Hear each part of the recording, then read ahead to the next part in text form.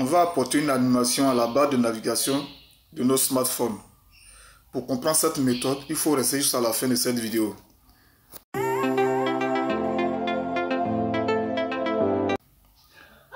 Bonjour, aujourd'hui on se retrouve pour une nouvelle vidéo. On va apporter une animation à la barre de navigation de notre portable. Mais avant de commencer, si c'est la première fois que vous venez sur ma chaîne YouTube, s'il vous plaît abonnez-vous, activez la cloche pour recevoir de nouvelles vidéos. Comme je le disais, on va apporter de l'animation à la barre de navigation de notre portable. Donc pour le faire, nous avons besoin de cette application Navbar Animation. Nous allons apporter une animation à cette barre de navigation. J'ai mis le lien de téléchargement de cette application dans la boîte description qui se trouve juste en bas.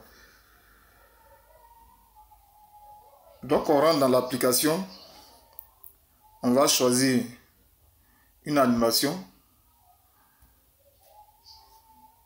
On clique sur animation aléatoire. Automatiquement, lorsque on clique, on appuie sur l'icône de menu, on remarque qu'il y a une animation qui s'affiche. Il y a des couleurs.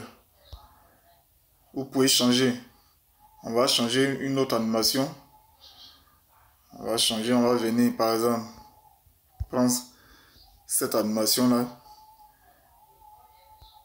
On va cocher animation aléatoire. Vous remarquez automatiquement qu'il y a des étincelles et des couleurs et c'est très beau à voir. N'oubliez pas de liker la vidéo.